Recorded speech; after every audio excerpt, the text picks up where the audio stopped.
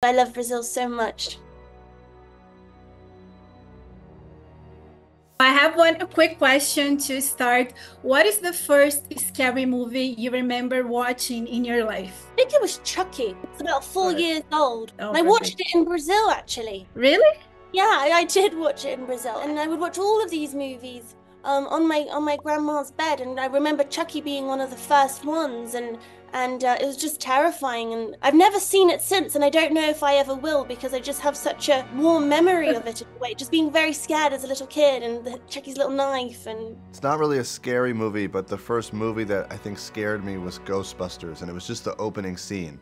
The opening scene with the lady in the library freaked me out as a kid, and that that made me intrigued with with scary movies after that. Yes, absolutely. That's one of the things that I admire so much about the both of them is that they have their dream and, and they know what it is they want and they go after it and and you know even though that their environment and everything around them is you know trying to bring them down they they won't succumb to that and they just carry on and I love the new characters in MaXXXine and how they seem to um, symbolize some ideas in this fame Hollywood uh, world. So I wonder if there's any of them that took you longer to figure out or to guess, maybe. As the story sort of you know started to come together as I was writing it, the, the, the you kind of start writing the characters and the snowball starts rolling and they start becoming who they are. I think it was it was the evolution of MaXXXine's character that probably took the most time. When I first met Mia, she had such a uh, like hunger to, to take on the responsibility of the of the lead role of a movie and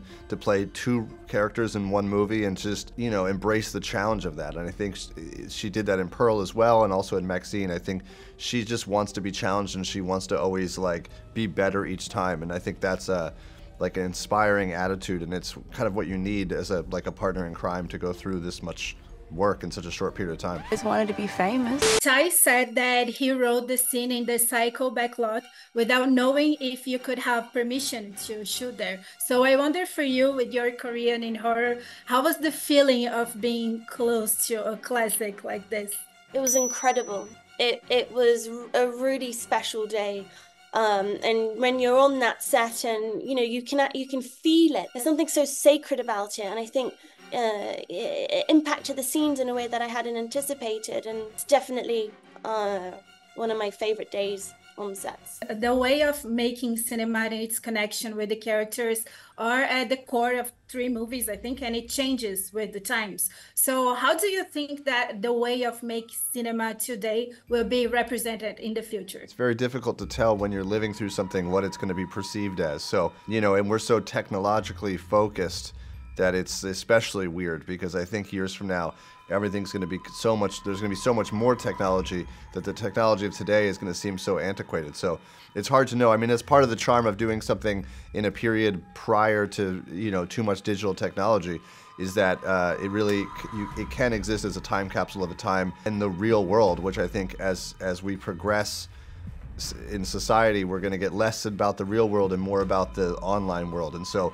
it'll be it'll certainly be strange to look back at today. I really do believe we've explored every facet possible in this universe. I don't know where else it could, where else we could take it. I, I think it's the perfect movie to cap off this trilogy. But I think each movie has a scene or scenes that I uh, that you know turned out really how I hoped them to be, and so I can kind of you know feel pretty good about those. I think with MaXXXine.